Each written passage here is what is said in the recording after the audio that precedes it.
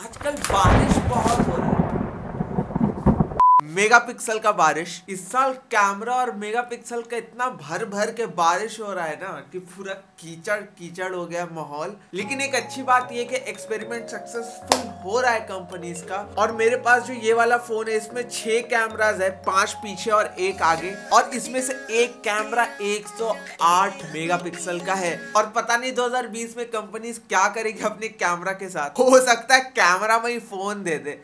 Hello हाँ देवी प्रसाद है।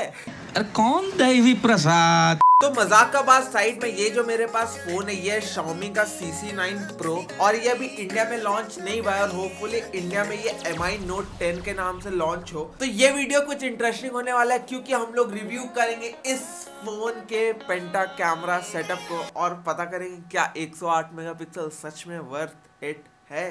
तो ज़्यादा टाइम वेस्ट नहीं करते वीडियो को स्टार्ट करते थ्री टू वन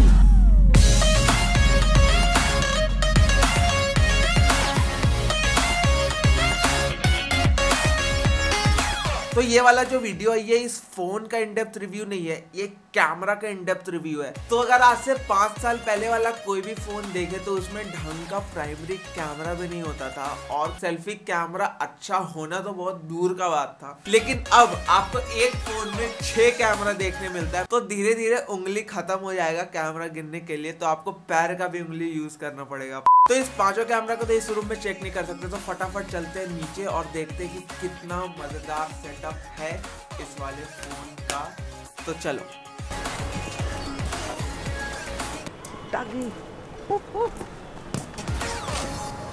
जैसा कि आप लोग को बताया इसका मेन सेंसर जो है ये 108 मेगापिक्सल का है लेकिन इसके ऊपर जो है ये है 2x टेलीफोटो और ये 5x टेलीफोटो और उसके नीचे है ये अल्ट्रा वाइड एंगल लेंस और ये है मैक्रो लेंस जो छोटा सा भाई है जिसका कोई वैल्यू नहीं होता घर में वैसा। तो सबसे पहले हम लोग बात करते हैं इसके टेलीफोटो लेंस के बारे में और इसमें 2x और 5x दो टेलीफोटो लेंस है। तो ये इसके मेन सेंसर से नॉर्मल फ़ोटो फिर है टेलीफोटो लेंस से 2x टेलीफोटो और फिर 5x टेलीफोटो लेंस से 5x टेलीफोटो। तो एक्चुअली में जो ये टेलीफोटो लेंस है, ये पहाड़ वहाड़ का फ़ोटो लेने का अच्छा काम आएगा, लेकिन दिल्ली में इतना ही ठंडा है कि पहाड़ पे जाने का ज़रूरत ही नहीं पड़ा तो हम लोग यहीं ले लेते हैं अपने। बैकग्राउंड में।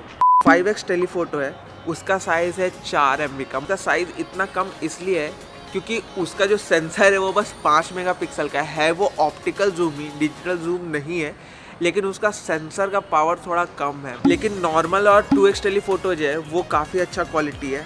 तो अगर आपका अभी भी मन नहीं भर रहा है फाइव एक्स टेलीफोटो से तो इसमें है फिफ्टी एक्स टेलीफोटो जूम ये फाइव एक्स टेलीफोटो और फिफ्टी एक्स इस वाले फ़ोन में शॉमी वालों ने काफ़ी अच्छा काम किया है। फिफ्टी एक्स को स्टेबल रखने के लिए। वैसे इसका कुछ काम वाम है नहीं। तो इसके सबसे नीचे में छोटा सा बच्चा सा सबसे छोटा भाई जो है, वो है दो मेगापिक्सल का मैक्रो लेंस वैसे ये उतना कुछ खास नहीं, लेकिन तब भी एक बार देख लेता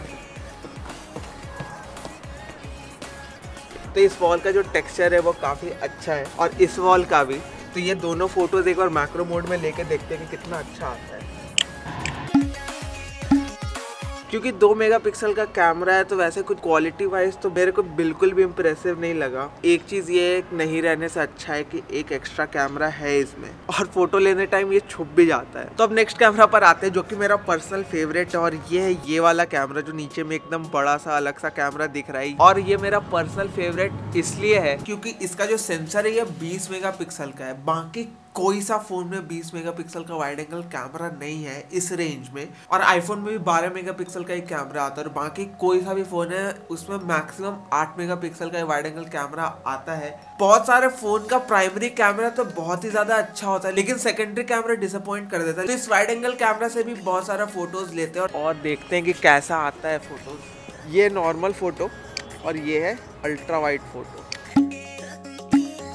इसके अल्ट्रा वाइड एंगल लेंस में एक प्रॉब्लम क्या पता कि ये लेंस बहुत नीचे प्लेस्ड है और क्योंकि ये अल्ट्रा वाइड है, जब भी आप फ़ोटोज़ लेंगे इससे, आपके उंगली का कैमियो इसमें आना ही आना है। तो आपको एक्स्ट्रा केयरफुल रहना पड़ेगा अल्ट्रा वाइड एंगल कैमरा से फ़ोटो लेते टाइम थोड़ा कम लाइट में वाइड एंगल का परफॉर्मेंस उतना अच्छा नहीं है, लेकिन अगर नॉर्मल अच्छा लाइट है तो ये बहुत ज़्यादा ही अच्छा फ़ोटोज़ लेता है और अभी तक का बेस्ट फ़ोटो मेरे को लगा है कोई भी वाइड एंगल में, चाहे वो आईफोन हो, चाहे वो कोई सा भी फ़ोन हो। तो अब आते हैं हम लोग मेन हाइप पर इस फ़ोन के, कि 108 मेगापिक्सल का कैमरा है मार्केट में पूरा भगदड़ मचा हुआ है इंडिया में आया भी नहीं है, लोग चाइना से ख़रीद के इसको ला रहे हैं, और मेरे हाथ में आया है ये। तो अब हम लोग चेक करते हैं कि 108 मेगापिक्सल सच में कितना अच्छा है इसका। तो इस वॉल का फ़ोटो लेते हैं और देखते हैं कि इसका टेक्सचर कितना अच्छा आता है।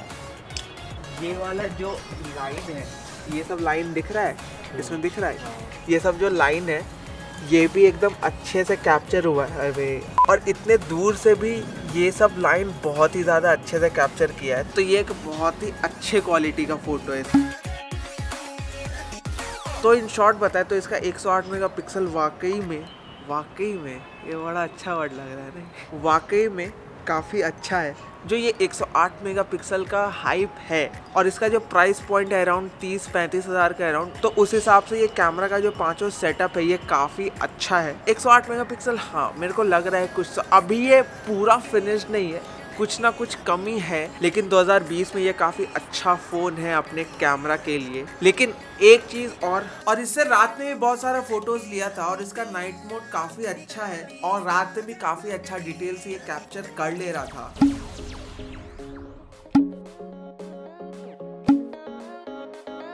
लेकिन नाइट मोड में आपको फ़ोटोज़ लेते टाइम अपना हाथ को स्टडी रखना पड़ेगा और ये प्रोसेस होने में कम से कम नहीं तो तीन से चार सेकंड लेता है तो वो थोड़ा टाइम टेकिंग हो जाता है। कहीं पर ऑकवर्ड सिचुएशन आपको फ़ोटो लेने का मन है तो वो कुछ ज़्यादा ही ऑकवर्ड हो जाता है क्योंकि आपको ऐसे तीन चार सेकंड तक अगर किसी के तरफ़ पॉइंट करके रखेंगे कैमरा तो उसको अजीब ऑकवर्ड सा लग जाएगा। लेकिन नाइट मोड में ये थोड़ा सा इंपॉर्टेंट भी है, क्योंकि कैमरा को बहुत कम लाइट मिलता है और उसको थोड़ा ज़्यादा लाइट लेने के लिए। थोड़ा सा टाइम उसको चाहिए। लेकिन ओवरऑल नाइट मोड बहुत ही ज़्यादा अच्छा है। और इसमें एक वियर चीज़ क्या है कि इसमें फ्लैश भी दो है। मतलब सब कुछ भर भर के डाल दो इस फ़ोन में। और आजकल तो सेल्फी वाला फ़ोन काफ़ी अच्छा है, लेकिन तब भी एक सेल्फी लेके देख ही लेते कि कैसा आता है सेल्फी तो सेल्फी में डिटेल्स तो है, मेरा दाढ़ी का सारा बाल दिख रहा है, जो कि उतना है नहीं तब भी दिख रहा है। और बाल में भी काफ़ी अच्छा क्लैरिटी आ रहा है। तो इसका सेल्फी कैमरा तो अच्छा है, कोई बात ही नहीं। आजकल सारे फ़ोन में सेल्फी कैमरा अच्छे आते हैं। लेकिन अभी भी एक बहुत ही इंपॉर्टेंट चीज़ बचा है। तो फ़ोटो वोटो तो बहुत हो गया, लेकिन अब आते हैं इसके वीडियो मोड पे। और वीडियो है तो ऑब्वियस सी बात है कि इस फ़ोन का वीडियो अच्छा ही होगा। लेकिन इसका स्टेबलाइजेशन भी एक बार चेक कर लेते हैं।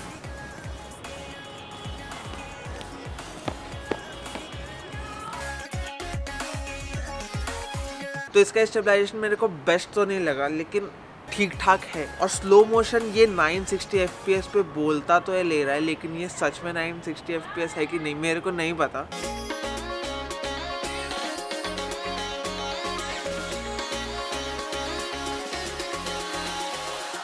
960 fps तो 720p में लेता है, जो कि मेरे को बहुत ज़्यादा ही फालतू लगा। लेकिन 120 fps अच्छा है क्वालिटी भी इसका अच्छा है 1080p पे ले लेता है। इसमें एक और फीचर है शूट व्लॉग करके। और ये मेरे को सच में बहुत ही इंटरेस्टिंग और बहुत ही नया चीज़ लगा किसी भी फ़ोन में देखने में।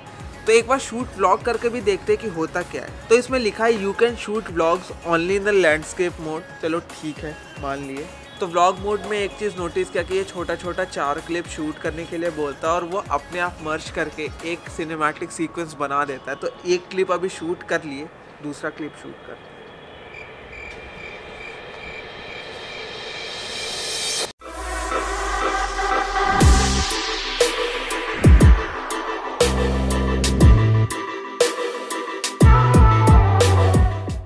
लोग इस पे हो सकता है व्लॉग शूट भी ना करें, लेकिन कंपनी लोग नोटिस कर रही है कि ये सब चीज़ प्रोग्रेस कर रहा है। मेरे को ये बहुत ही ज़्यादा अच्छा लगा। तो ओवरऑल अगर इस फ़ोन के कैमरा का परफॉर्मेंस देखे तो काफ़ी अच्छा है। मेरे को पास दो तीन चीज़ से प्रॉब्लम है। तो सबसे पहले तो फाइव एक्स टेलीफोटो का क्वालिटी उतना अच्छा नहीं है। दूसरा चीज़ ये कि इसका मैक्रो लेंस का कोई यूज़ नहीं है। और यूज़ इसलिए नहीं है क्योंकि मैक्रो लेंस का क्वालिटी कुछ खास नहीं है। अगर क्वालिटी अच्छा होगा तो लोग माइक्रो फोटोग्राफी करते हैं और इससे भी करेंगे।